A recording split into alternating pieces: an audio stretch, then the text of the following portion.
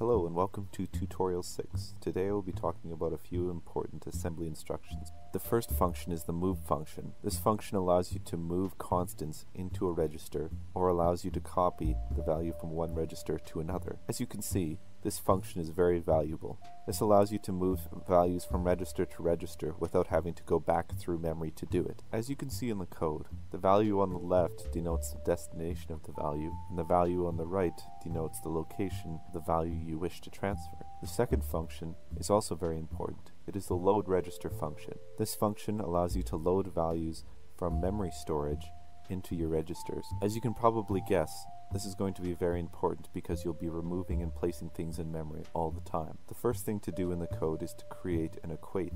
This is a more housekeeping piece of code, as it allows us to reference a register by a more friendly name than just a series of numbers. So whenever you reference this memory location in code, it'll automatically know which one you were talking about.